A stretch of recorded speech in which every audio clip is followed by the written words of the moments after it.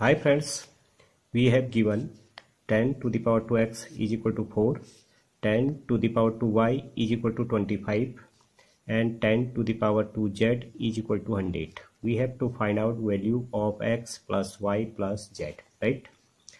As 10 to the power 2x is equal to 4, square root of 10 to the power 2x is equal to square root of 4.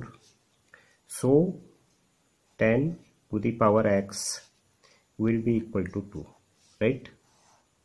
Same way 10 to the power 2y is equal to 25 square root of 10 to the power 2y is equal to square root of 25 and 10 to the power y is equal to 5 right 10 to the power 2z is equal to 100 so 10 to the power z will be equal to 10 right?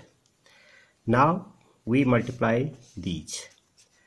10 to the power x into 10 to the power y into 10 to the power z is equal to 2 into 5 into 10 2 into 5 into 10 right? So 10 to the power x plus y plus z is equal to 100 or we can say 10 to the power 2 right?